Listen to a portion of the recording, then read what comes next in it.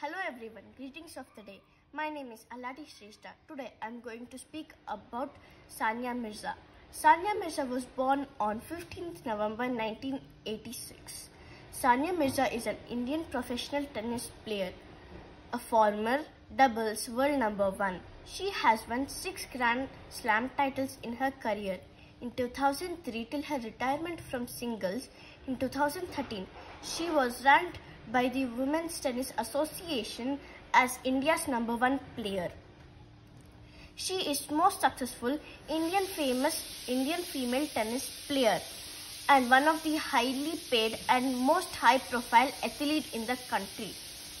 Mirza was named after the 50 heroes of Asia by the time in October 2005. In 2015, she and Martina Hingis were the doubles team of the year and then later had 44 matches of winning streak, one of the longest in history. Sania Mirza has a total of 14 medals in three major multi-sport events, namely Asian Games, Commonwealth Games and Afro-Asian Games. Thank you.